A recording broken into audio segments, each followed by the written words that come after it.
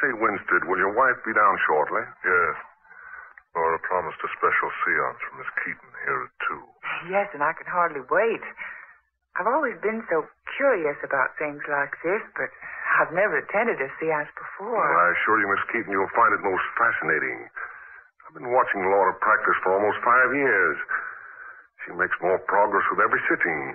It's absolutely astounding what she can do. Uh, isn't it, Winstead? Yes. Quite. Oh, yes. She really didn't know she had the power, you know, until about 1937. Remember, Winstead, the, the penthouse party? Who gave the beastly thing? Do you remember? Yes, I remember very well. It was Quentin Ramsey. Oh, yes, that's who it was. Ramsey had a mystic oracle board, you know, Ouija. No one could get the thing to work until they coaxed Laura to sit down and have a try. And she made the board work? Oh, indeed she did. All over the place. it was absolutely weird. She got messages from several of the guest friends who had passed on some time ago. People she'd never heard of until that night. Wow, wonderful. Well, she used the board for about a year and then found out she could get pencil messages. Pencil messages? Yes, she simply substituted the pencil for the little heart-shaped board with the isinglass window. Her messages came in more rapidly that way, were more complete, and this method was less tiring for her.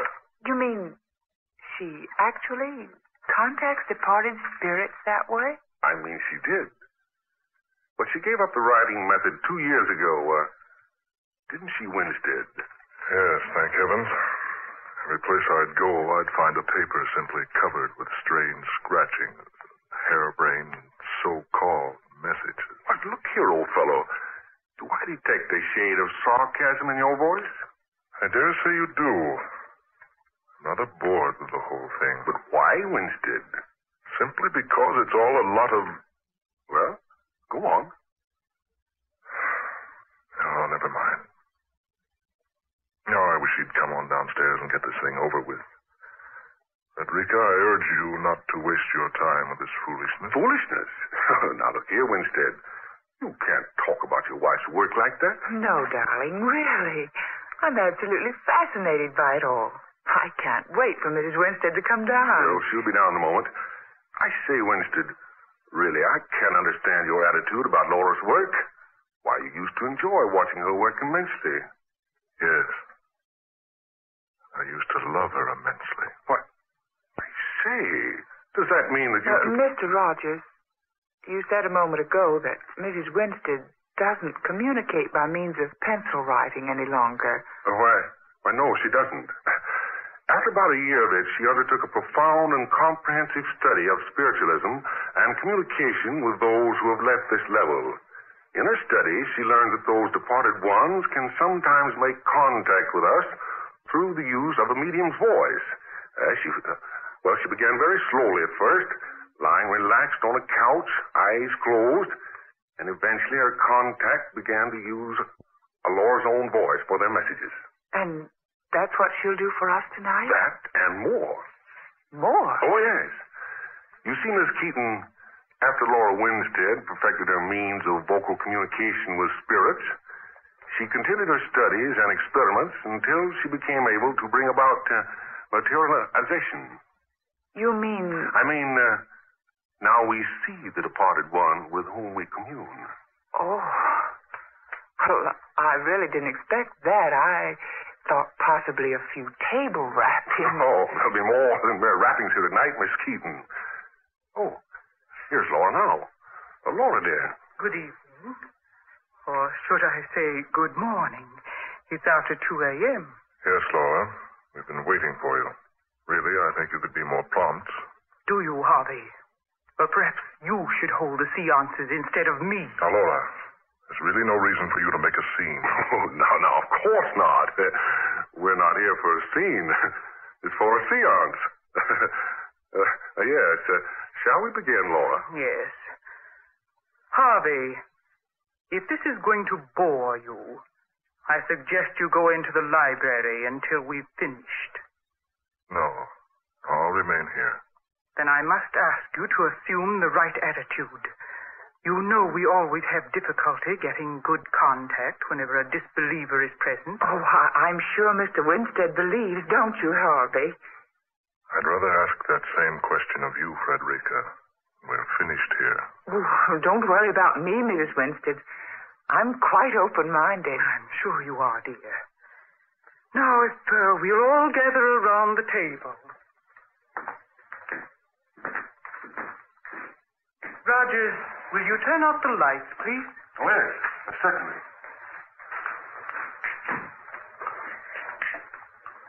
There we are.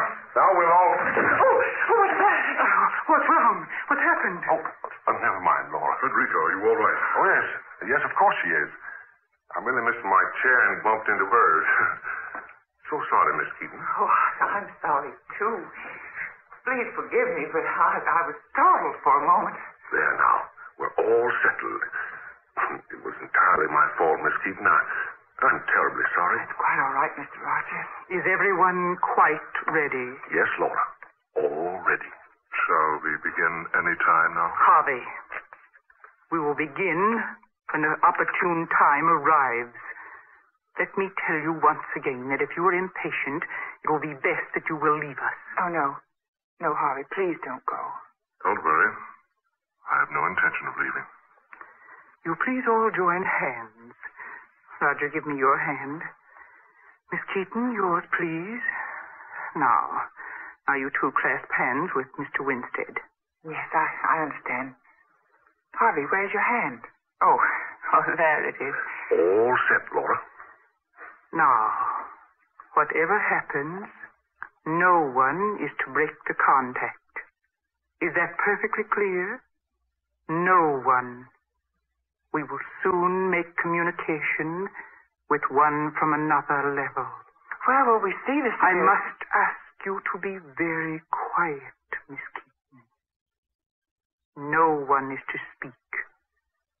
And when the materialization takes place, please do not utter a sound unless it addresses you personally. We're gathered here to commune with whomsoever wishes to contact us. We've gathered with open minds and with a unity of purpose. If there is someone who wishes to speak to us, or any one of us, will he or she please make herself known? Is someone seeking contact? Please knock twice for no, thrice for yes. Do you have a message for someone present? For me? No. For someone else who is present here? Do you wish to speak through me? Do you wish to show yourself to us? Ah, very well. We will await your appearance now. When you are ready to speak through me, please begin.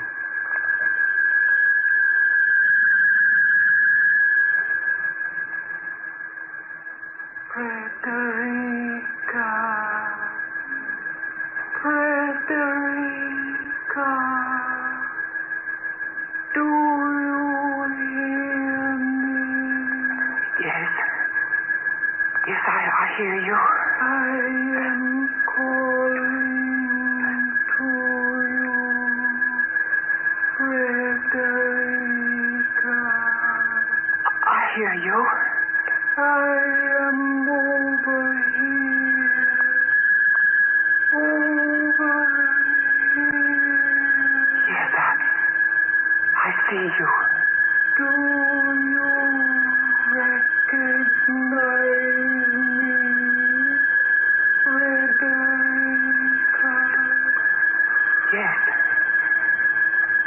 my mother. Yes, dear. I am your mother. Do not worry, Frederica.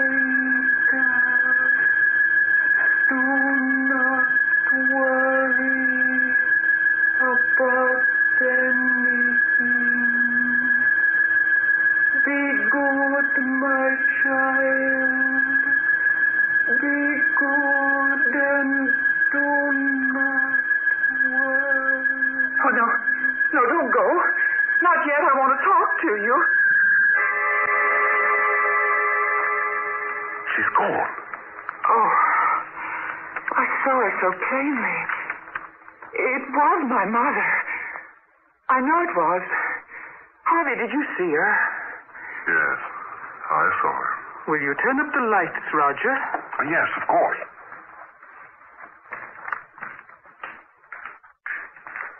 Feeling all right, Laura? Yes, quite all right, thank you. Uh, Miss Keaton? Yes, I. I suppose so. I. I don't know what to make of this.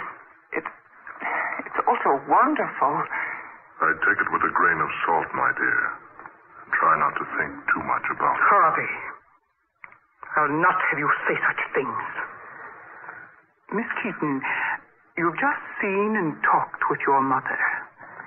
You may do so again whenever you wish. And in case there's the slightest doubt in your mind, I can assure you that it was your mother. Oh, yes. Yes, I'm sure it was, Mrs. Winstead. And as I say, it's. It's so wonderful.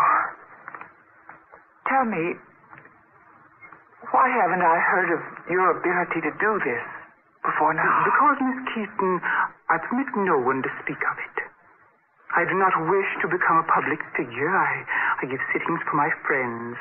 I don't wish the world at large to know about my power, so I, I swear every newcomer to complete and absolute secrecy. I'm asking you for your assurance now. You mean you don't want me to speak of this to anyone? Mm, yes, that's what I mean. You must promise to speak to no one of what you have seen here tonight. Very well, Mrs. Winstead. As you wish. I shall expect you to keep that promise. Now, the seance is ended.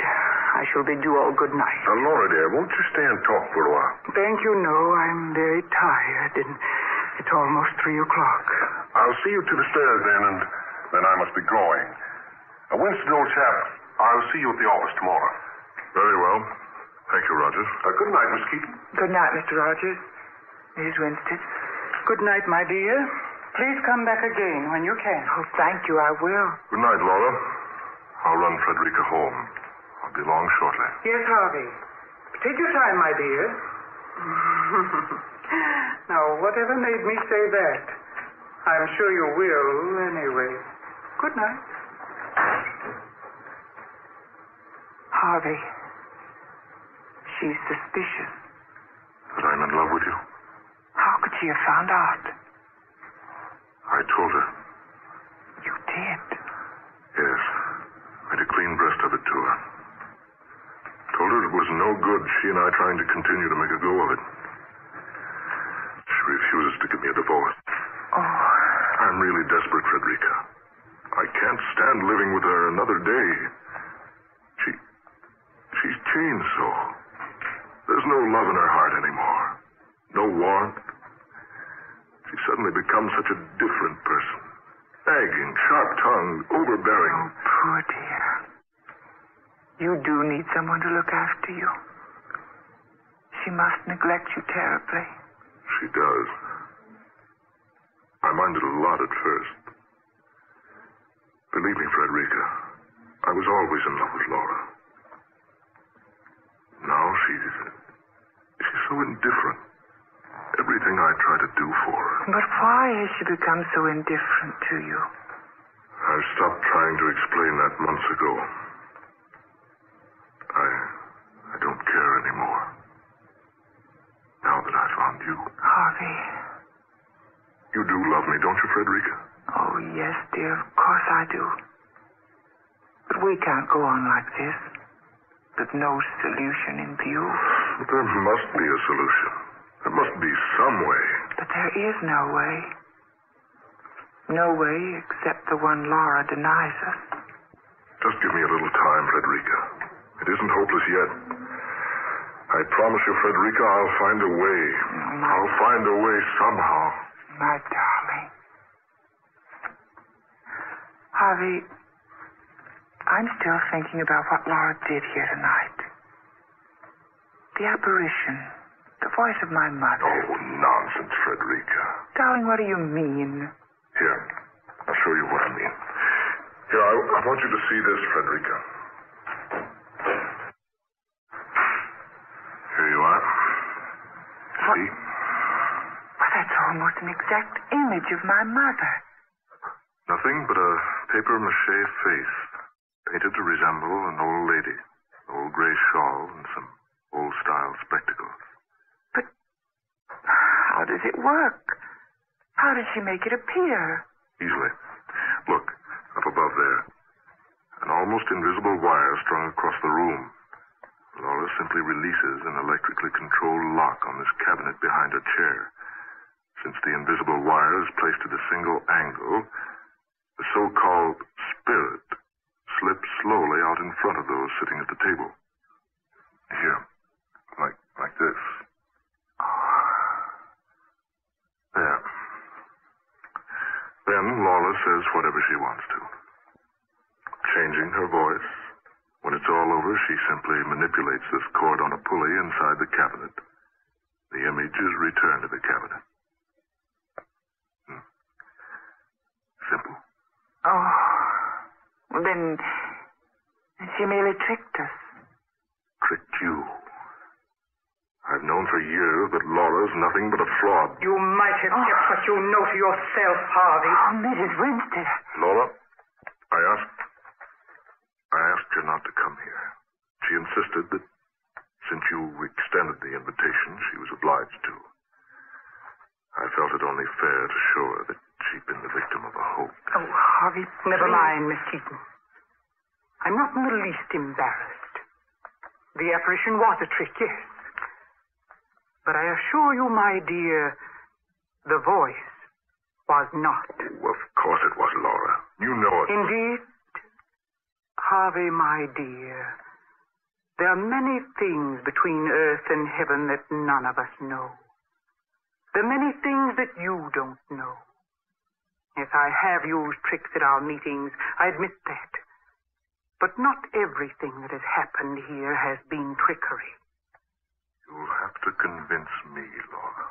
Harvey, I have a feeling, a feeling that someday, somehow I will convince you. And that when I do, you'll never be able to scoff at me again.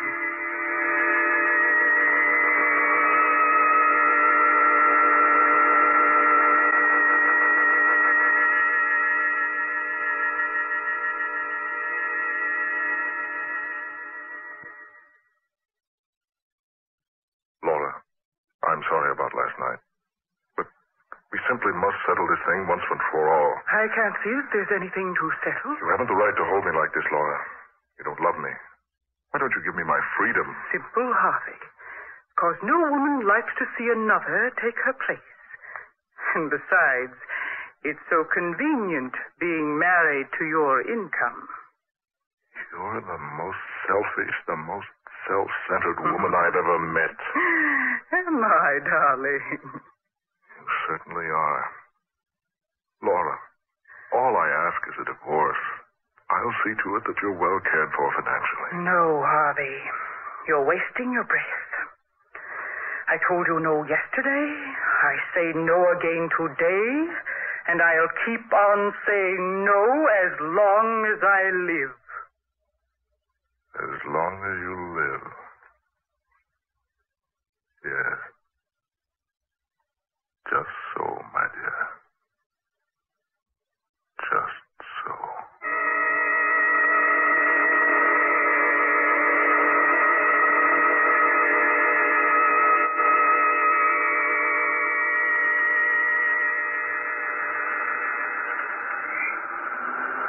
Oh, darling. Yes? Oh, oh, Laura. How are you? Excellent, Frederica. I'm driving out to Cliff Point. Won't you ride along with me? We'll be back by noon. Oh, why, thank you so much. I, I would like the fresh air. Then come along, Frederica. I need some company, and besides, I want to have a little talk with you. Frederica! Laura! Laura, stop! Stop the car, for heaven's sake!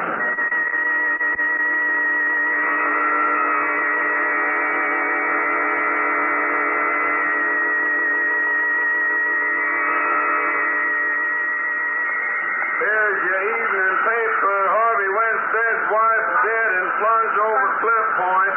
Two women forced off highway by unidentified truck driver. Mrs. Harvey Winstead killed instantly. Miss Frederica Keaton expected to die. There you are, folks. Just your evening paper.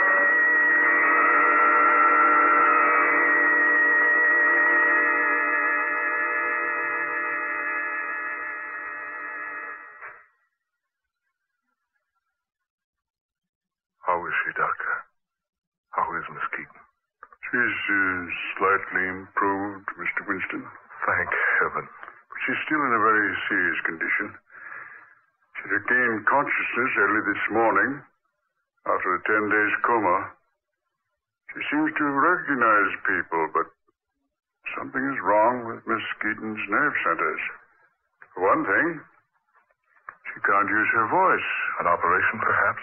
Yes, a very serious one. To require, well, quite an expense. Oh, hang the expense. Get the best surgeon you know of. I'll pay all the bills, everything. Only Frederica Keaton must recover.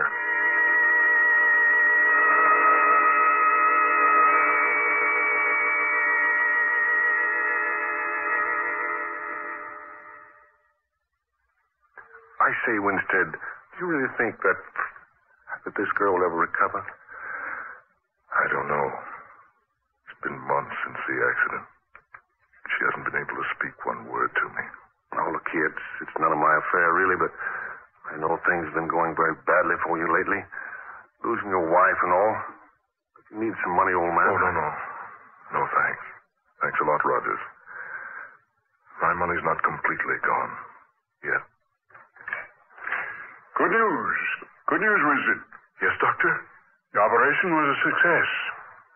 Believe me, I, I never dreamed it would require three operations to make Miss Keaton able to speak again. She can talk? Yes, after almost six months of silence. Oh, that's splendid. When can I see her, Doctor? Why, now, if you wish. Here, this way. Just, just a few minutes now. She's, she's very weak.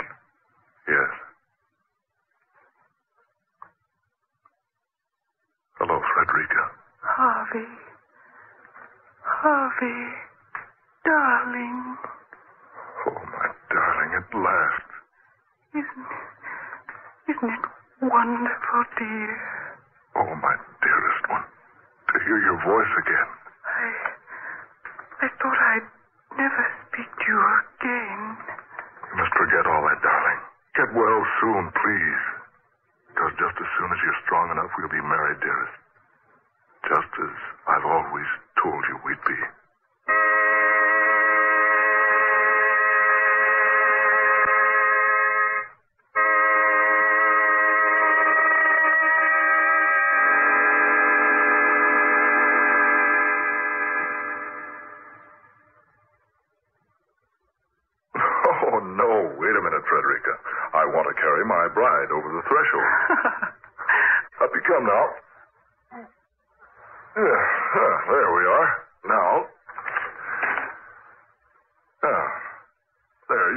Mrs. Winstead, in your new home at last. Now, how about a kiss from Mr. Winstead's new bride? Harvey, you're always the fool, aren't you? Frederica. Frederica, darling. Oh, stop it. Stop it. You're so annoying, Harvey. Frederica. Whatever's come over you? You thought your problem was solved, didn't you? You thought sending me over the embankment to my death was the solution. I, I don't understand. Look at me. Whom do you see? Frederica Keaton, yes, of course you do. But whose voice do you hear? Laura. You've been so stupid, Harvey, you hadn't even noticed. It can't be. Are you a believer now? Laura. My wife.